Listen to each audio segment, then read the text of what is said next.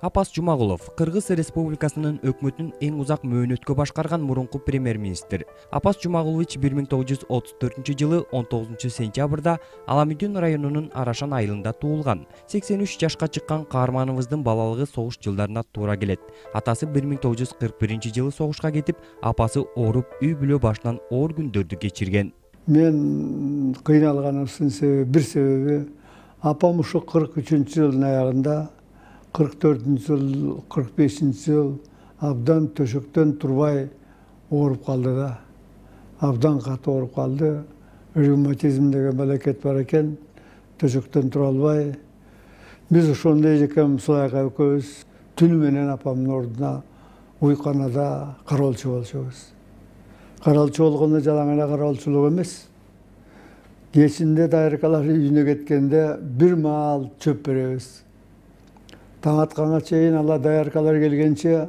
эжекем экөөбүз баарын тазалап коюшубуз керек эжекеме күч келбесин деп мен школду таштап ошо жылы кырк бешинчи жылы школго барбай калганмын да эгерде аскерден атам келбей калган болсо атам болсо жетинчи ноябрда келди кырк бешинчи жылы аскерден мына ошол жылы анан кайта школго бардым ошо тилекке каршы ош совхоздо жаңысы эле мен окудум менден кийин да ушу бир киши эки киши бир бала эки бала окуду бар менден мурун эч ким окуган жок эле каарманыбыздын атасы жумагул апасы сонун бала күндө атасы согушта болуп апасы менен көп убакытын өткөргөндүктөн апас агайдын мүнөзү да апасына окшош боорукер ак көңүл адам секретарь цк болуп калганда апам кол астында болуп жүрдү ошондо баягы бирде бир баягы башы ооруп калса бир болсо спец поликлиникага алып барып жаткызбайбы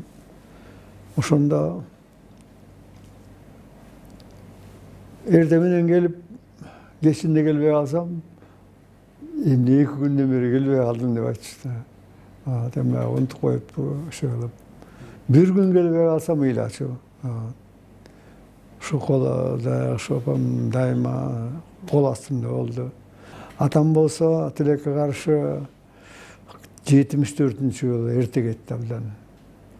Эрте кетти ушу больницадан мен баткенде заводилчика элем ошо баткенде командировкада жүрсөм инем айтты ушул катуу болуп ушу больницага алып бардык бүгүн операция болуп атат деди иштин баарын таштап ушул самолет менен учуп келдим учуп келдим жетпей калдым да. Көрбөй калдым келдим бирок ушу көзүн ача албай калды ошол бойдон анан жетимиш төртүнчү жылы жетимиш жети жашында каса болду апам жетимиш жетиге чыгып калды ал киши атамдан он эки жаш жаш болчу ошондуктан атамдан кийин он эки жыл жашап жетимиш жетиге чыгып анан кайта кайта апас жумагулов бир миң тогуз жүз кырк тогузунчу жылы бишкектеги интернатка окууга тапшырып ал жерди ийгиликтүү аяктагандан кийин москвадагы нефть институтуна тапшырат жардам берген кишим жок жалаң стипендия окучумун биринчи курстарда экинчи курстарда үйгө келет деген мүмкүнчүлүк болбойт билетке каражат келип кетиш кыйын болчу да. Атам эми совхоздо иштеген киши болчу пенсияда болсо үч бала семья. Ошондуктан ошол жекшемби күндөрү бадаевский пивзаводко барып грузчик болуп түнү менен иштеп кээде ящиктер жок болуп калганда көмүр түшүрүп ошонун эсебинен түнүгү стипендия алышы отуз төрт мен повышенный стипендия алчумун кырк төрт сом бир түндө он сом тапчубуз мындай жалгап бүттүм институтту институт бүткөндө дагы атам согуштан ушу жетинчи ноябрда келди деп атпаймынбы ушу атам келге атам келе албаса мен ушу окубай да калмакмын чыны балким ошол жылдары ошол көп жылдар ошол оокат менен элек болуп айылда балким калып калмакмын да чынын айтканда. Бир миң тогуз жүз жетимиш үчүнчү жыл жаңы эле москвадагы окуусун аяктап инженер геолог адистигине ээ болгон абас жумагулов борбордук комитеттин өнөр жай жана транспорт бөлүм башчысынын орун басары болуп дайындалат. Ошо жетимиш үчүнчү жылдын күзүндө докторский защита этмекмин да. Даяр предварительный защитадан өттүм. Ошондон анан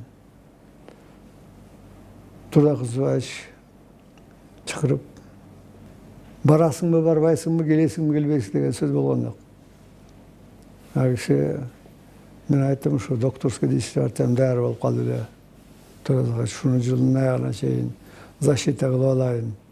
Анан кийин эмне болсо ошол жака барайын деп айттым десем полканы көрсөттү. Полка канча докторский диссертация пылятся.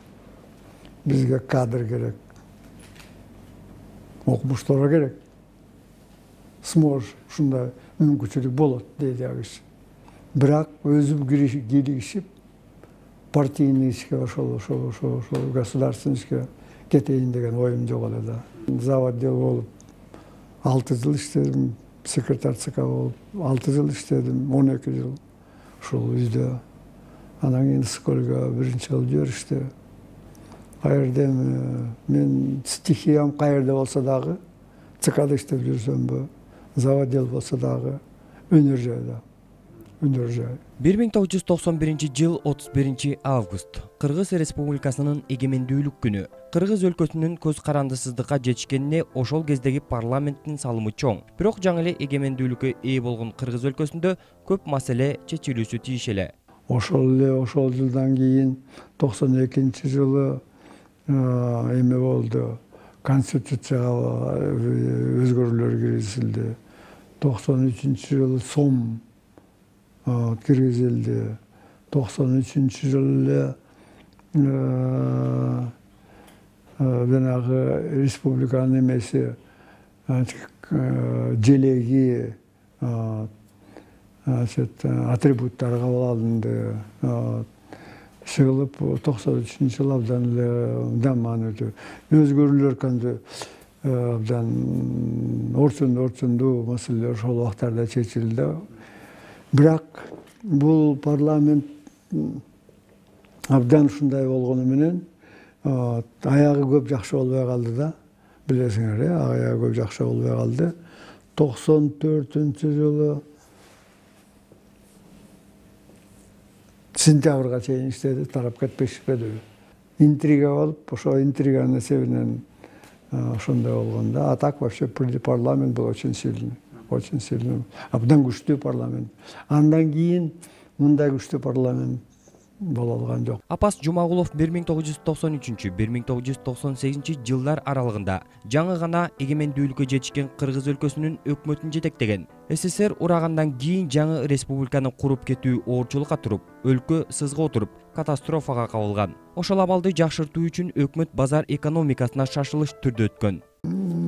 Банкрот деген сөз бул бер жакта эле да.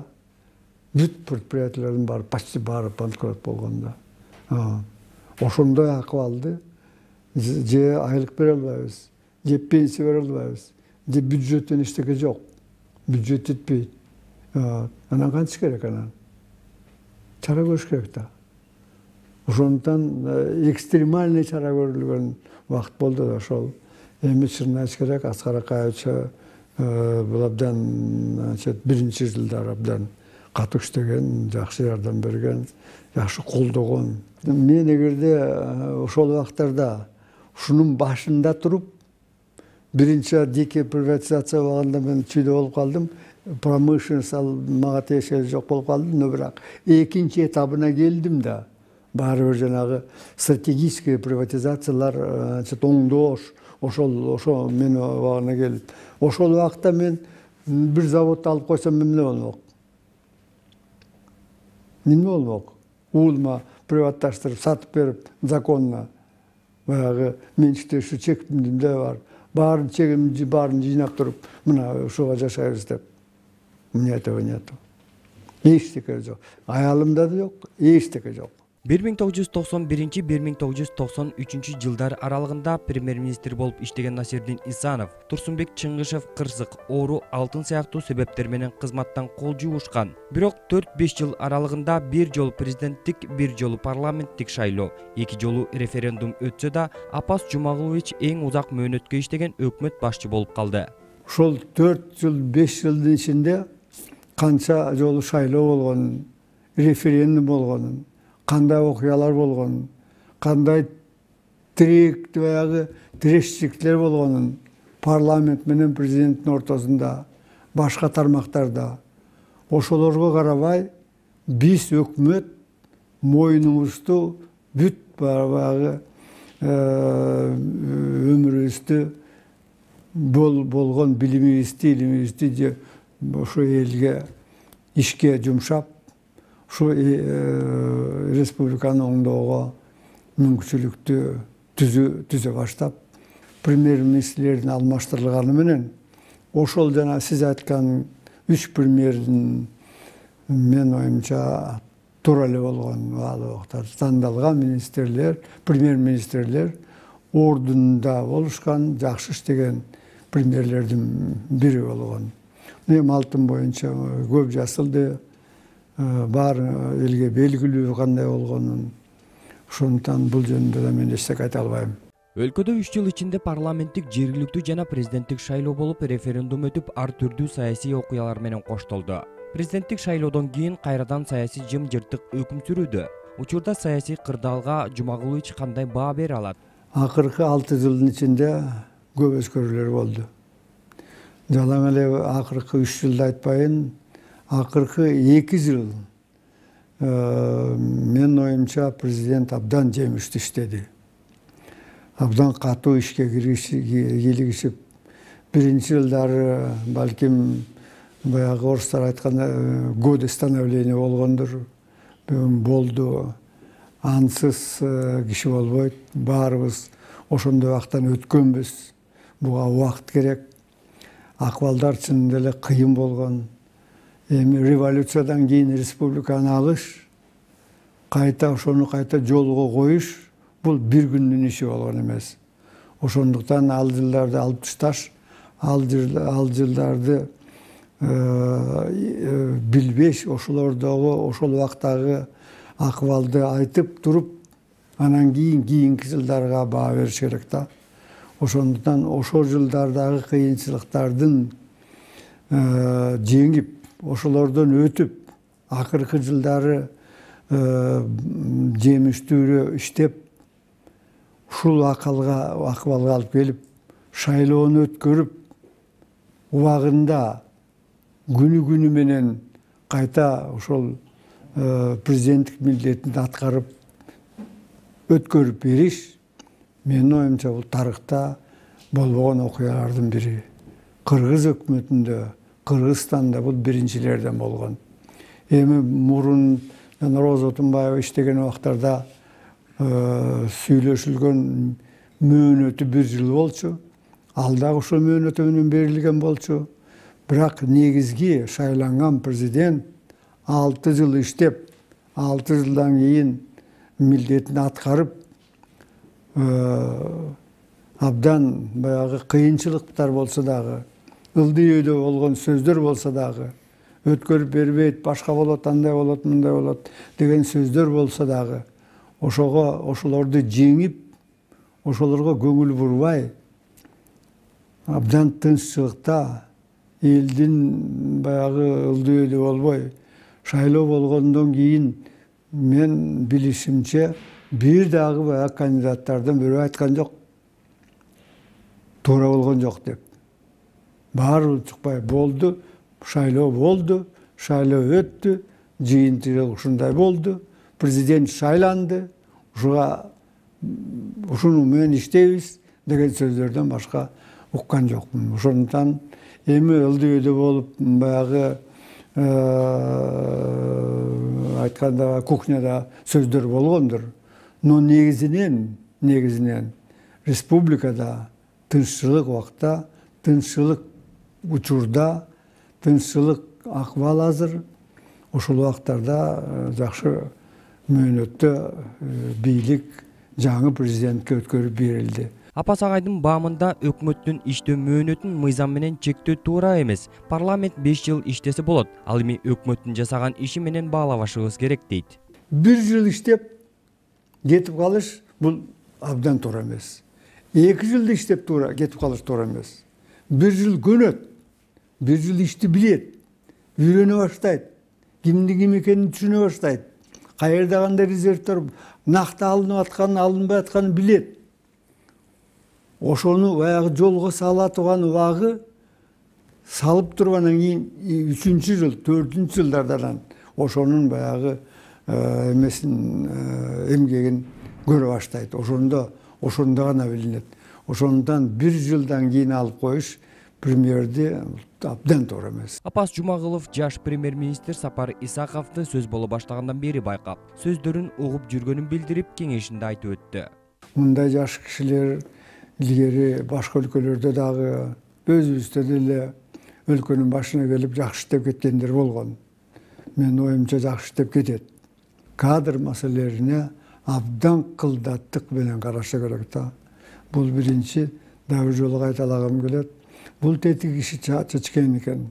бул тетиги киши экен булар мынабу чечим болбойт бул ошондой болбошу керек да эмне кандай маселе өткөндөгү премьерлер кабыл алган болсо эки жыл мурун бир жыл мурун беш жыл мурун ошол маселелер күн тартыбына туура келе турган болсо ошону меники дебей ошонуку дебей ушуну улантып кетиши керек да ошондо гана баягы эл ишене баштайт бул абдан адилеттүү киши экен деп. Бул адилеттүүлүк абдан премьерге абдан ушул керектүү нерсе да. Абдан адилеттүү болуш керек абдан ыймандуу болуш керек адилеттүү болуш керек. Жумагулов президенттик шайлоо алдында бабановду колдоорун айткан. Учурда ага кылмыш иши козголуп чет өлкөдө жүрөт. Эми бабановдун саясаттагы тагдыры кандай болушу мүмкүн деген суроого төмөндөгүчө жооп узатты мен баарын колдодум бабановду мен баягы сегиз жыл бирге иштеп калдык да пропаганда ишине катышкан жокмун аксакал катары ушу ушундайго жеткизбеш керек эле дейм да. Ушундайга жеткизбеш политик болгондон кийин кылдаттык менен айтыш керек эле да. Эми эч ким пайдаланбай кандай кылып айтыш керек эле ушу бул жагынан баягы ката кетирип койгон болсо керек. Бирок эми бир жерден ката кетирди деп эле баары башын кесе берген менин оюмча кандай болот? Бул баягы буга правоохранительный органдар өздөрү кылдаттык менен карашар. Башын кесип түрмөгө отурушуп коюш менин оюмча кыйын болуп калат го дейм да акаев бакиевдин доорунда өкмөт башчы бир нече өлкөдө элчи болуп иштеген апас жумагулов эки президент азыркыдай эл жеринен бозуп кетпей абалды башкача кылып өзгөртүүгө мүмкүнчүлүктөрү бар болчу дейт аскар акаевич ушуга жеткизбеске мүмкүнчүлүгү бар эле да. Кишиники бар эле менин оюмча жалал абадда ошол эле жылы башында. Эң биринчи баягы а дегенде эле аксынын иши баштаган боло электе эле ошол өзү барып ошолдон эки жагына баягы күнөөлүү кишилерди анан ошо күнөөлөгөн кишилерди отургузуп алып ошолдон чечип күнөөлүү кишиди жаакка чаап күнөөлүү болгон кишини чыгарып кайта келтирсе бир күндө чечилет эле ошондо ак суунун проблемасы болбой калат эле бул бир экинчиси площадьте болгон күнүнө эле ушу аксаркай кетпеше керек эле да ошолдо ошондой болуп атканда эчке чыгып мына мен мындай болот бир айдан кийин законну өткөрүп берем у деп рахмат деп эл тарап кетмек эле менин оюмда ушундай болот бакиев жөнүндө кыйыныраак мен айтышым ушуга жеткизбес мүмкүнчүлүгү бар эле да бар эле бул иши мен мен жакшы билем да. Губернатор болуп иштеди да. Губернатор болгондо мен үч жолу бардым жалал бирок бирок жанына бир туугандарын жакындатпаш керек эле акаевдин немесин баягы кемчилигин түшүнүш керек эле да адилеттүү эч бир адамга жамандык кылбаган адам гана өсөт деген жумагулович эл алдында жүзү жарык экенин айтат эл сыйласа бул киши уурдаган эмес десе уурдап ичип жепкен жеген киши дебесе ушундай наам керек да сизге жамандык кылган кишинин жамандыгына жамандык кылбаңыз бирок ушу жамандык кылган кишинин фамилиясын дайыма билип жүрүңүз каарманыбыз жубайы айгүл айым экөөнүн ортосунда төрт уул эки кызы бар тун уулу данияр кырсыктап каза болуп калган учурда ондон ашуун небере эки чөбөрөсү бар маек соңунда кыргыз өлкөсүнүн өкмөтүн эң узак мөөнөткө башкарган аббас жумагулов аксакалдык накыл кебин айтып кыргыз элин келе жаткан жаңы жыл менен куттуктады баарыңыздарды ушу келе жаткан жаңы жыл менен куттуктап койгум келет бул эми жаңы деген абдан үмүт жаңы жылда дайыма жаңылыктар болот деген үмүттөбүз ошол үмүт ишке ашкандай болсун элибизде жерибизде аманчылык болсун тынччылык болсун биримдүүлүк болсун иши кылып баарыбыздын оюбуз ушул жакшылык. Элибизге жакшылык каалагым келет келе жаткан он сегизинчи жылда.